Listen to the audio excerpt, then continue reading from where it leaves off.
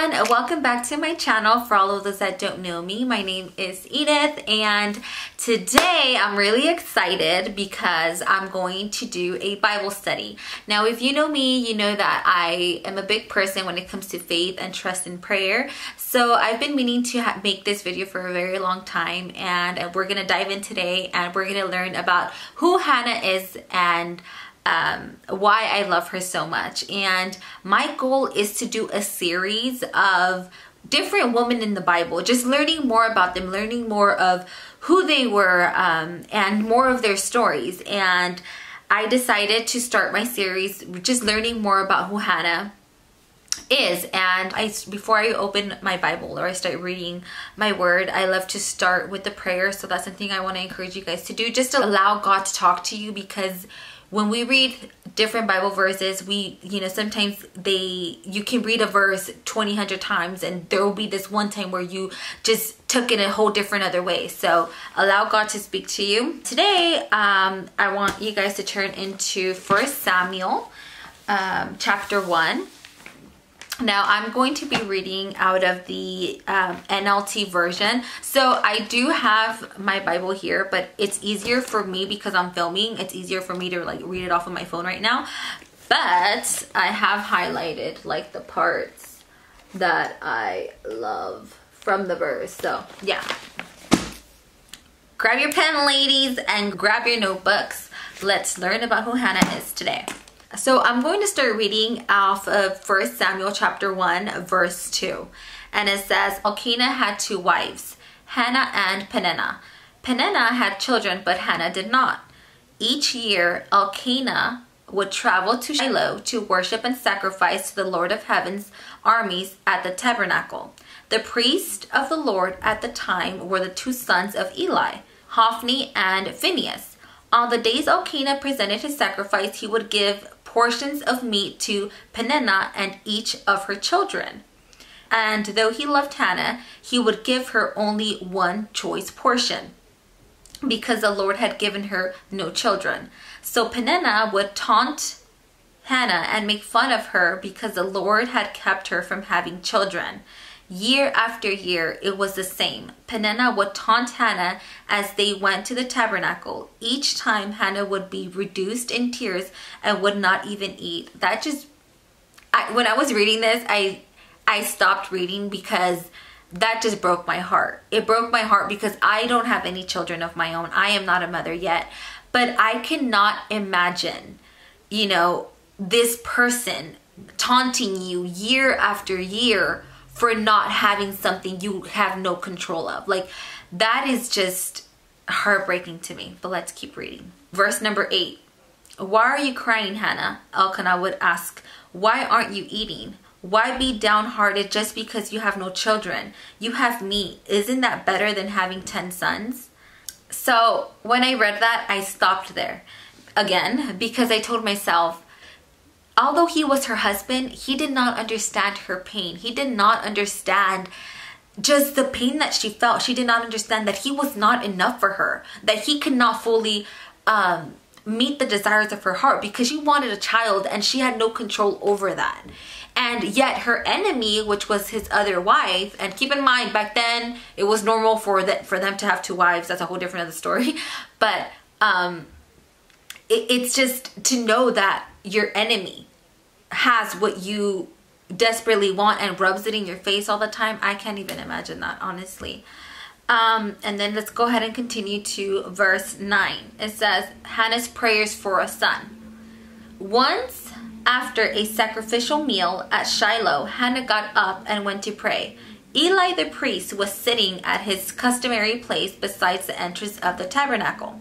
Hannah was in deep anguish, crying bitterly as she prayed to the Lord, and she made this vow O Lord of heaven's armies, if you look upon my sorrow and answer my prayer and give me a son, then I will give him back to you. Bam! When I read that, I stopped. Why? Because I wrote in my notes. That alone, I just stopped there because many times when we want something, when we desire something in our hearts, we're just looking at our interest. One of my points that I wrote down as soon as I read that is a lot of times we are praying for things that we have no intention of giving back to God in the first place. And it is true, like sometimes majority of the uh, majority of the time it's true sometimes we're just praying for something because we want it it's something that your heart desires but are we is is or do we have this desire and tell god like if you give me this i will give it back to you. I will use it to glorify you. And that allowed me just to put into perspective and check my heart check what my what my heart truly desires. And is this something that is going to glorify god? Is this something that is going to bless him and his goodness? So that is something that i loved how she said and i'm just going to reread it because i just felt it in my spirit. It says verse 11 O Lord of heaven's armies, if you will look upon my sorrow and answer my prayer and give me a son, then I will give him back to you. He will be yours for his entire life, and as a sign that he has been dedicated to the Lord, his hair will never be cut. So she pretty much vowed and said, I will give you, this is what I want. And if you give this to me, I will turn it back to you and it will glorify you. That is just so powerful. Okay, so I left off uh, where it says, as she was praying to the Lord, Eli watched her, seeing her lips moving, but hearing no sound. He thought she was she had been drinking. Must you come here drunk? He demanded, throw away your wine. So I paused there again. I paused a lot reading the story because right here where she was being accused. So keep in mind, poor Hannah. Oh my goodness, my heart. I just love her heart. I can't even describe. So poor Hannah was laughed at. She was taunted by Peninnah, which is um, her husband's other wife for not having children. And now, in the middle of her pain, now in the middle of her cry out to the Lord, Eli, the priest, accuses her of being drunk. So now, not only was she made fun of, and now she's being accused of being drunk when she was crying out to the Lord. But that just shows me, that revealed to me Hannah's prayer, Hannah's true pain um, as she was praying to the Lord. So, verse 15, oh no, sir, she replied, I haven't been drinking wine or anything stronger, but I am very discouraged and I was pouring out my heart to the Lord. Do not think I am wicked, do not think I am a wicked woman, for I have been praying out of great anguish and sorrow. And um, verse 17, in that case, Eli said, "Go in peace. May the God of Israel grant the request you have um, you have asked for him." Oh, thank you, sir, she exclaimed. Then she went back and began to eat, and she was no longer sad. So let's take a step back and just see how she acted towards her enemy. So, although Peninnah um, made fun of her and taunted her and rubbed it in her face that she couldn't have children, something that was completely out of her control, she never fired back. And that's another um, that's another thing that stood out to me that Hannah was a woman of faith. Hannah was a woman of prayer. And sometimes we're let's be real, life will put us in situations where we can be mocked, where we can be laughed at, where we can be judged, where we can be uh, just looked down upon and majority of the time our flesh is to fire back our flesh is to you know fire back with the same attitude or the same treatment that someone is giving to you. But Hannah did not do that. Not once does it tell us in the Bible or in this story in First Samuel chapter 1 that she fired back. It doesn't tell us that she's, you know, she did a, oh, you treat me like this, well, then I'm going to treat you like that too. No. Instead, she took it. She took what was being thrown at her and she took it up to the Lord and she went and she prayed.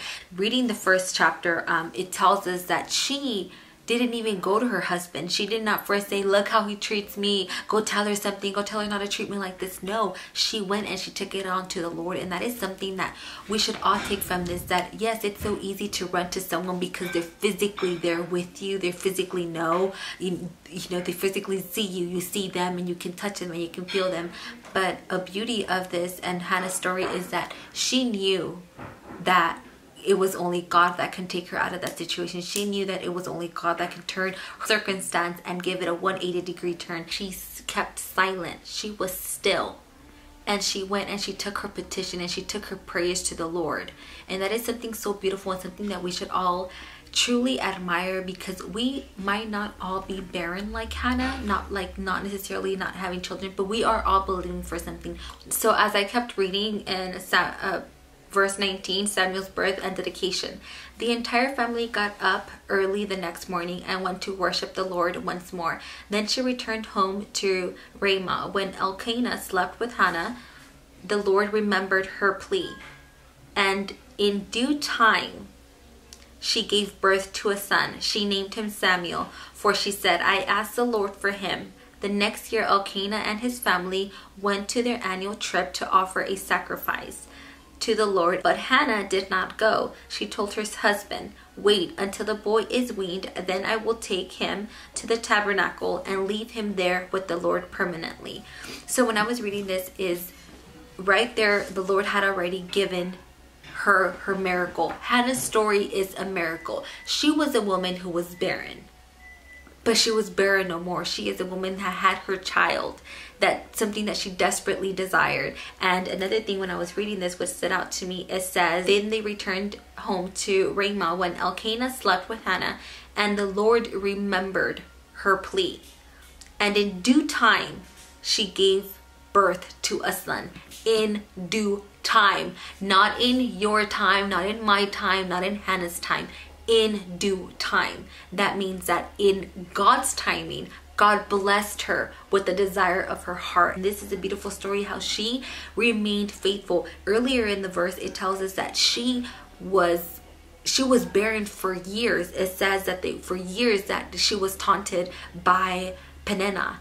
And in due time, God blessed her with that child. It says that God remembered her plea. And another thing that I wrote in my notes when I was reading um, this story is how um, God is a God who hears. It does not say God questioned her. It does not say God told her, Do you not see how blessed you are? Why are you asking for more? He did not judge her. He did not tell her what her husband tell her. It might not enough for you, but he actually knew her pain. He heard her plea. He heard her cry. He heard her prayer. And that is another beautiful example of how beautiful prayer is. That God is not a God that He's a he, we don't serve a deaf God. We don't serve a God who cannot hear. We serve a God who hears. And this is a perfect example of how she took her request to the Lord and God didn't put it aside, but God remembered her and God blessed her. And moving on to verse 23 whatever is best, whatever you think is best, Elkanah agreed. Stay here for now, and may the Lord help you keep your promise. So she stayed home and nursed the boy until he was weaned. Verse 24 When the child was weaned, Hannah took him to the, t- to the tabernacle in Shiloh. They brought along a three year old bull for the sacrifice and a basket of flour and some wine. After sacrificing the bull, they brought the boy to Eli. Sir, do you remember me? Hannah asked. I am the very woman who stood here several years ago praying to the Lord. How beautiful is that? That is a miracle. He witnessed a miracle. I asked the Lord to give me this boy, and he has granted my request. Now I am giving him to you, and he will belong to the Lord for his whole life. And they worshiped the Lord there. We serve a God who enjoys altering the faith of those that are destined for destruction. That is what he loves to do. And I feel that now that I think of it, it God could have chosen for the mother of Samuel to be someone else, to be a woman that didn't suffer through this, but he made something out of nothing. He made her a mother of not just any child, but Samuel. And if you don't know, um, Samuel Samuel was a man of God. He was a man who anointed the first two kings of Israel. He so her vain, her tears were not in vain. Hannah shows us that she is a persistent woman. She is a woman that believed. She is a woman that didn't give up. She is a woman that sat still because she knew who her God was. She sat still. She didn't fire back. She didn't question um, her husband El- um, Elkanah and said, "Go tell your wife something." No, instead she sat still. She waited for the Lord for His perfect timing. In the beginning, Hannah knew. Hannah knew that God was her only hope. It wasn't her last hope, it was her only hope. And we saw her have hope and faith from the beginning to end. She was obedient, she was a woman of faith, she was a woman that praise God before, during, and after. Her obedience, her faith, and her trust is just inspiring and it should all inspire us to be Hannahs. Let's be the Hannahs um, in today's world. Let's be that Hannah that when someone looks down upon you, when someone mocks you, when someone makes fun of you, when someone throws something in your face that you can't have, that you have no control of, instead of firing back, take it to the Lord in prayer leave it at his feet and know that he hears you just how he heard Hannah. He knows what you're feeling, just how he knows how, how Hannah felt. I want to encourage all my beautiful women out there and everyone that's watching to be the Hannah, be the Hannah in today's world, be that woman of faith we be that woman that is persistent. Be that woman that sits still when you see that everything is falling apart. When you see that your circumstance where you're believing the desires of your heart what god has promised you that he knows your heart that he is hearing your prayers that he knows what you feel and that he honors all those that trust in him. And before we end this Bible study series, I just want to read something out that I wrote in my notes and I wrote, We are all waiting for something in our waiting, we feel we are being singled out. And we do ask, you know, like, why me? Hannah did not say, Lord, why her and why not me? She did not say that. And that's something so powerful because I believe that that's the first thing that we run to as human. We're human, we're flesh, and the enemy will try to get all these things in your head, and you start questioning. So, um, in our waiting, sometimes we feel that we are being singled out and we ask why me, but in, the reality is as we as you read the Bible, waiting is part of the gig for all of God's people. Waiting, and we see this. We see that in Hannah's story. It says that for years uh, she would go up to Shiloh and she didn't she would she would be in tears because she couldn't have her heart desired. So as we know that she waited, she waited for the, God's timing and we should all know that it is part of of our walk with God that we will wait because not it's not in our timing but in his timing because he will get the glory through it all and he knows what we can't see. So I just want to thank you guys so much for watching today. I hope that we all learned something new from Hannah and I'll see you guys next time. Bye.